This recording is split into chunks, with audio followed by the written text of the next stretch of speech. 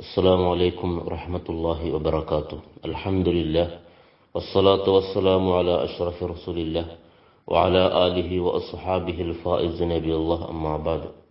وعن أبي زيد رضي الله عنه أن النبي صلى الله عليه وسلم خرج زمن الشتاء والورق يتهافت فأخذ بغصنين من شجرة.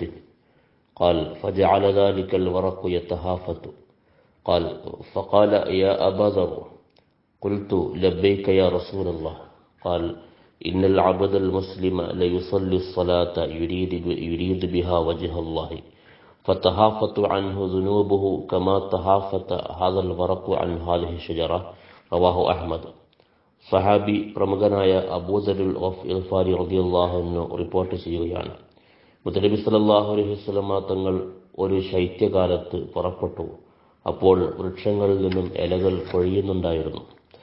ഒരു മരത്തിൽ നിന്നും ഒരു കൊമ്പെടുത്തു. അപ്പോൾ ആ കൊമ്പിൽ ആ കൊമ്പിൽ നിന്നും ഇലകൾ വീഴുന്നത് കാണിച്ച് അബൂദർ തങ്ങൾ പറഞ്ഞു ഇന്നൽ അബ്ദൽ മുസ്ലിമ ലയുസല്ലി പൊരുത്തം കാക്ഷിച്ചുകൊണ്ട് ഒരു മുസ്ലിമായ മനുഷ്യൻ നിസ്കരിച്ചാൽ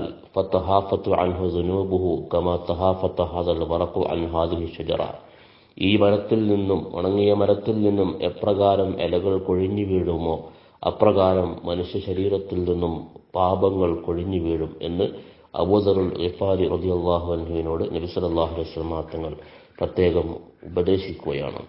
അപ്പോൾ ഒരു മനുഷ്യൻ അള്ളാഹുവിന്റെ പൊരുത്തം ആഗ്രഹിച്ചുകൊണ്ട് ആത്മാർത്ഥമായി നിസ്കരിച്ചാൽ ഉണങ്ങിയ വൃക്ഷത്തിൽ വൃക്ഷങ്ങളിൽ നിന്ന് എപ്രകാരം ഇലകൾ കൊഴിഞ്ഞു വീഴുമോ അപ്രകാരം അവനിൽ നിന്നും പാപങ്ങൾ കൊഴിഞ്ഞു വീഴുമെന്ന് ഈ ഹദീസിലൂടെ മുത്തനബി സല്ലല്ലാഹു അലൈഹി ഉമ്മത്തിനെ പഠിപ്പിക്കുന്നു. വഫഖറല്ലാഹ്